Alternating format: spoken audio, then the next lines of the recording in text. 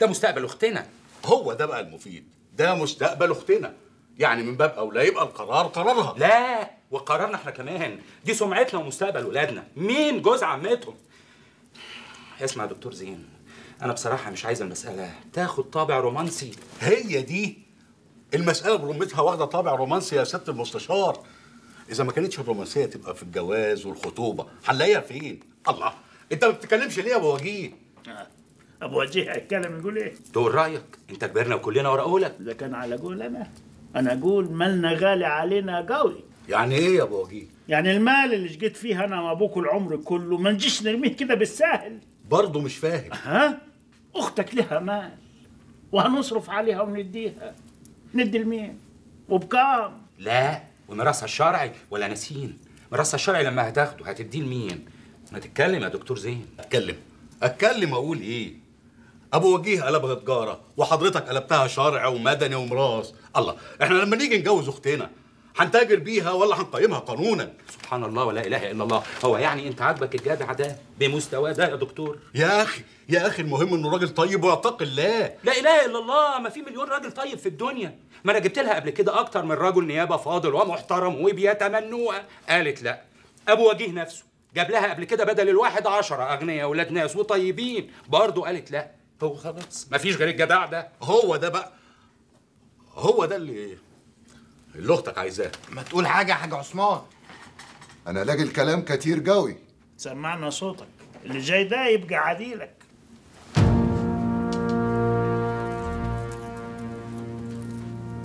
ما تقيسوش عليا. أنا زمني كان زمن تاني. أنت فاكر يا رحيم؟ أنا وأنت اتجوزنا إزاي ومتى بس اللي عايز أقوله إن بحمد ربنا إن اتجوزت أختكم بدري. لو استنيت لدلوقتي ما كنتوش رضيتوا بيا. ليه يا حاج عثمان؟ إيه الكلام اللي أنت بتقوله ده؟ الله هو أنت أقل من مين؟ أنا أقل من الناس كلها. بس لازم أبقى راضي. المهم أبقى راضي. واللي فيها لله ما بتغرقش.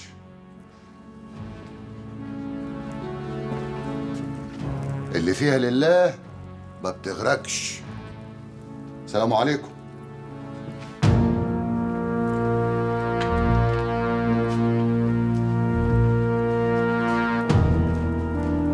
ونعم بالله.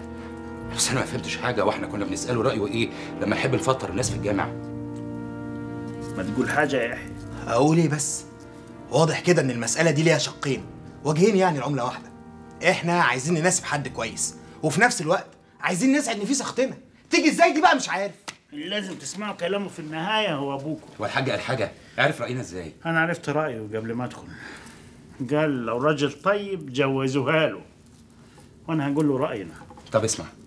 قول له في بدل الواحد ألف. طيب وغني وابن ناس ويسعدها العمر كله. لكن ده لأ.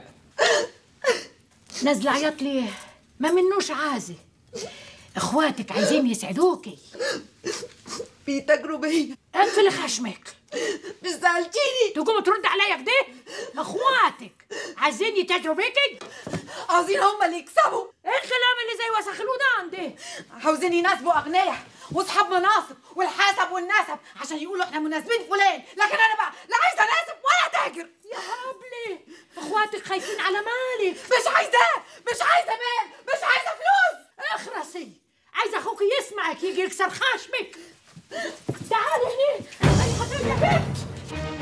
خلاص قولوا لهم انت قولي لأخويا لو كانوا خايفين على المال مش عايزاه. هنجيب عفشنا بالتقسيط أنا وهو خلاص مش عايزة فلوس مش عايزة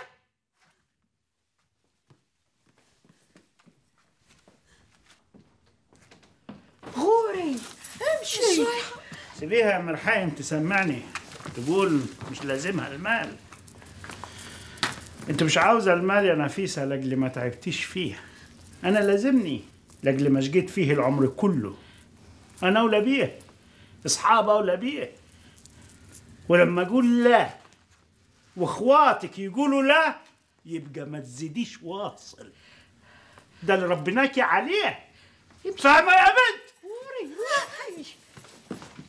معلش يا ولدي عقل عيال روح يا ولدي شوف حالك. روح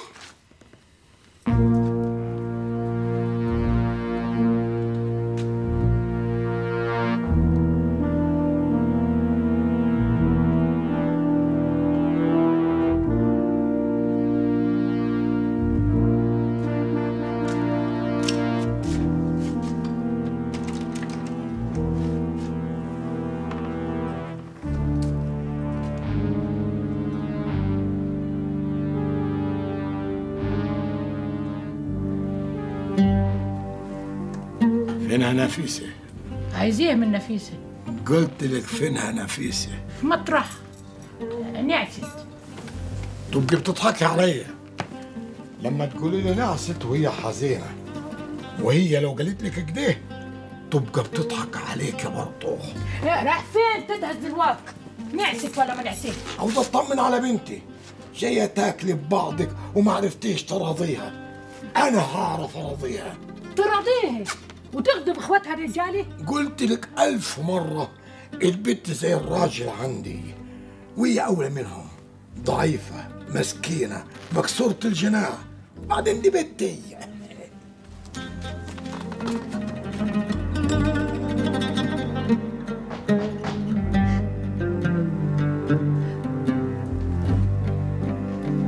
أدخل يا بنت عمران. طب قولي ادخل يا بابا زي ما بتقولي ولا ادخل يا أبوي ولا ولا اتفضل يا حاج.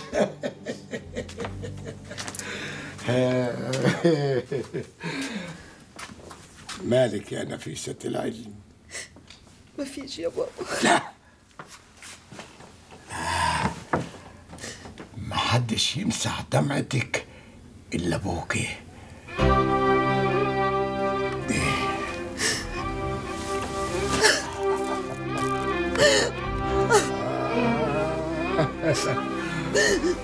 أنا عارف ما حدش يقدر يمسح دمعتك إلا ابوكي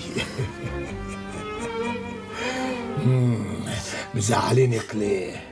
با عايزة تقول لك إيه؟ هو اللي هنعيده نزيده ولا ما خبرش إياك؟ نفسي اسمع منيها انسه مزعلينك ليه واقفين في سكتك بدهم يناسبوا أصحاب المال والحسب والجاه. وانت بدك اللي يوافقك. كلام إيه ده يا راجل اللي بتقوله؟ اسكت يا انيسه اسكت كيف؟ هي اللي هتسكت ولو قعدت للصبح. عايزة تقول لك إيه؟ تقول اللي بدها تقوله. ها؟